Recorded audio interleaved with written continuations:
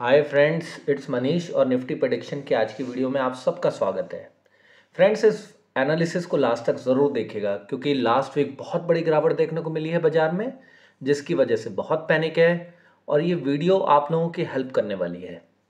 मैं आज डेली और वीकली एनालिसिस हर हफ़्ते की तरह साथ में ही करने वाला हूँ, इसलिए आज की एनालिसिस बहुत इंपॉर्टेंट होगी लास्ट तक ज़रूर देखिएगा।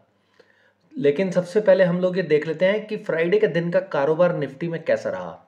दोस्तों, बाज़ार ने गैप डाउन ओपनिंग दी सत्रह हज़ार चार सौ पैंतालीस पे और सत्रह हज़ार चार सौ पैंतालीस पे क्या पैटर्न बनाया? Day open day high same और उसके बाद बड़ा फॉल दिया सत्रह हज़ार तीन सौ पच्चीस का। दोस्तों, ये जो पैटर्न है, मैं इसके बारे में हमेशा बोलता हूँ कि जिस दिन भी ये पैटर्न फॉर्म होता है, बाज़ार डायरेक्शनल मूव देते हैं और रिवर्सल प्ले बिल्कुल भी नहीं करना चाहिए ऐसे बाज़ार में। और बड़ा फॉल आता है नीचे की तरफ़।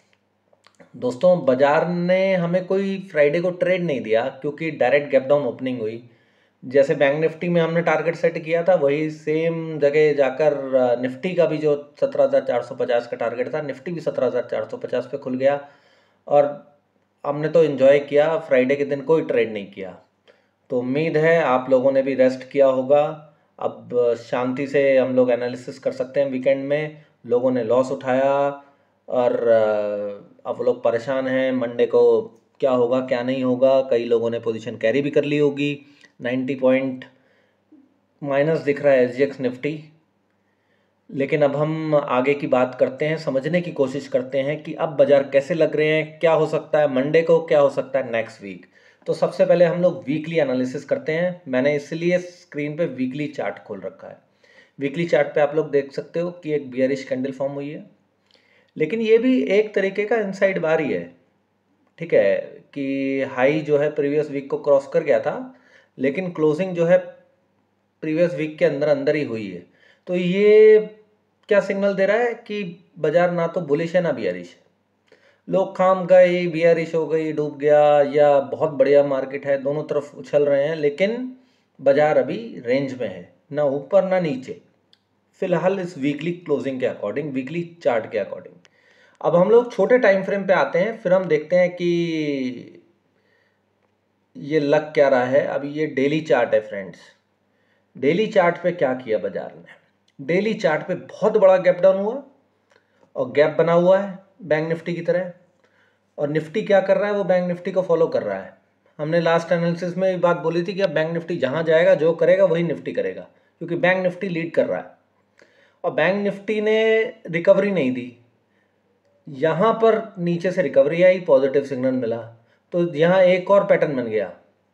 वो क्या है? इंटर मार्केट डाइवर्जेंस अब इंटर मार्केट डाइवर्जेंस कैसे काम करता है? अब अगर बैंक निफ्टी वीक है तो वो निफ्टी को नीचे घसीट लेगा। इसी तरीके से काम करता है। अब बैंक निफ्टी है वीक निफ्टी के कंपैरिजन में क्योंकि वो रिकवर नहीं हुआ, लेकिन अगर बैंक निफ्टी ऊपर निकल गया तो वो और ऊपर का गैप फिल करने गया तो वो भी निफ्टी को साथ में लेके जाएगा, दोनों मिलकर गैप फिल करेंगे।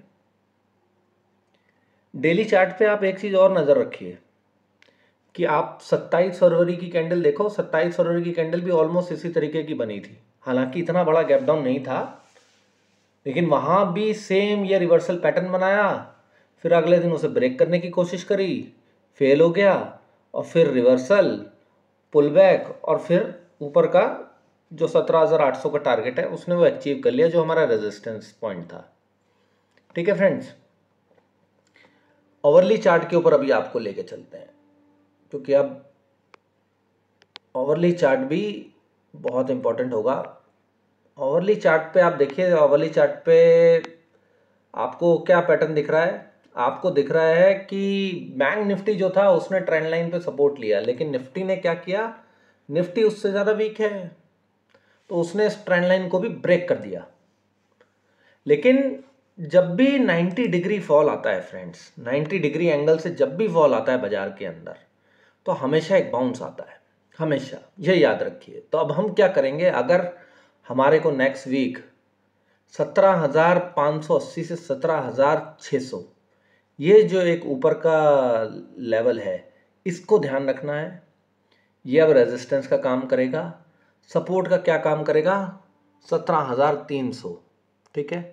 सत्रह हज़ार तीन सौ से सत्रह हज़ार छः सौ का ये एक रेंज बन गया। अब हम करेंगे क्या? अगर सत्रह हज़ार तीन सौ ब्रेक कर दिया तो हम सोलह आठ सौ के लिए ट्रेड लेंगे। भाई, बहुत बड़ा ब्रेक डाउन हो जाएगा। सॉरी सत्रह हज़ार एक सौ के लिए ट्रेड लेंगे। सत्रह हज़ार तीन सौ के नीचे, सत्रह हज़ार एक सौ और उसके नीचे सोलह हज़ार आठ सौ बनेगा। सत्रह एक सौ अभी एक मेजर सपोर्ट है। ठीक है? हम लोगों को करना क्या है, वो भी मैं आपको मंडे की जो एनालिसिस है, उसमें समझाता हूँ। ठीक, अभी वो स्टार्ट करते हैं। एल सी एक्स नब्बे पॉइंट डाउन है, ठीक। अब बाज़ार का नीचे का सपोर्ट क्या है? सत्रह तीन सौ से सत्रह तीन सौ बीस। नब्बे पॉइंट क्या दिखा रहा है कि जी सत्रह तीन सौ बीस पे ओपनिंग होगी। मैं मैं रफली मान लेता हूँ, सत्रह तीन सौ से तीन सौ बीस के आसपास ओपनिंग हो जाती है according to the S G X जो कि वेरी मच पॉसिबल भी है। अगर वो एस जी एक्स गलत हो, सही हो, मैं उसकी बात नहीं कर रहा हूँ यहाँ पर, लेकिन वेरी मच पॉसिबल पहला सिनेरियो ये है कि अगर मंडे को सत्रह तीन सौ से तीन सौ बीस पे ओपनिंग हो गई तो हम क्या करेंगे? सबसे पहले हम प्राइस एक्शन वॉच करेंगे। स्टॉप लॉस सत्रह दो सौ पचास का लगा के यहाँ पे सीधा कॉल में बैठेंगे और हमारा टारगेट होगा सत्रह तीन सौ सत्तर और उसके ऊपर सत्रह हज़ार चार सौ तीस। तो उम्मीद ये है कि उस दिन फ्लैट हो जाएगा मार्केट अगर नीचे जाता है तो उस दिन बाज़ार फ्लैट हो जाएगा।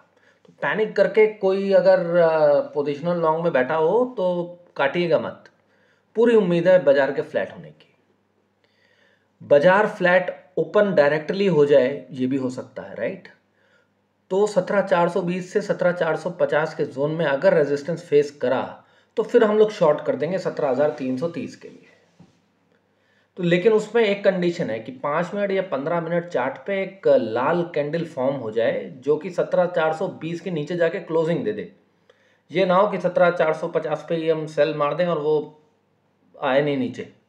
सत्रह चार सौ बीस के नीचे वो पाँच मिनट या पंद्रह मिनट की जोन सी भी कैंडल बनेगी। मैं दोनों टाइम फ्रेम इसलिए बोल रहा हूँ क्योंकि बाज़ार बहुत वॉलेटाइल हैं इस वक्त। तो कुछ पता नहीं है कि पाँच मिनट में ही वो अपना काम कर दे या दस मिनट लगाए या पंद्रह मिनट लगाए। तो पाँच से पंद्रह मिनट के बीच में अगर वो एक ऐसी कैंडल बनाता है जो कि सत्रह हज़ार चार सौ बीस के नीचे क्लोज हो जाती है तो हम उसके ऊपर का स्टॉप लॉस लगाएँगे और अपना शॉर्ट ट्रेड एक्टिव करेंगे सत्रह हज़ार तीन सौ तीस के लिए, फ्रेंड्स। एक सिनेरियो और है कि सत्रह हज़ार चार सौ बीस से सत्रह हज़ार चार सौ पचास के ऊपर ही ट्रेड करने लग जाए। वो भी हो सकता है। तो फिर हम क्या करेंगे? तुरंत कॉल में बैठ जाएँगे, फ्रेंड्स। फिर हम लोग क्या करेंगे? हमारा क्या टारगेट होगा? हमारा टारगेट होगा सत्रह पाँच सौ तीस और फिर उसके ऊपर सत्रह पाँच सौ अस्सी से सत्रह छः सौ का जोन हम कॉल में बैठेंगे और उसके नीचे का स्टॉप लॉस लगा लेंगे।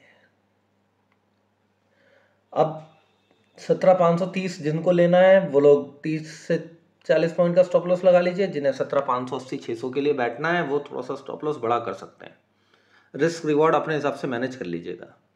पर मुझे उम्मीद है कि सत्रह हज़ार चार सौ मतलब तीन सौ नब्बे के नीचे आना नहीं चाहिए। अगर सत्रह चार सौ बीस से सत्रह चार सौ पचास के ऊपर वो टिक जाता है तो।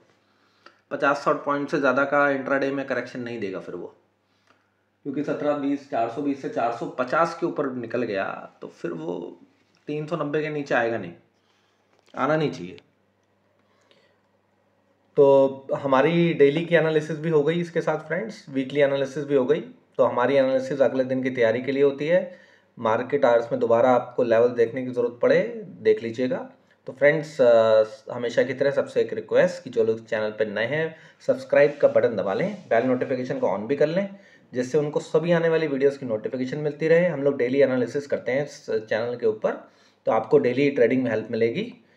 और वीडियो पसंद आए तो लाइक और शेयर ज़रूर कर दीजिएगा फ्रेंड्स ठीक है friends thank you thank you very much friends thank you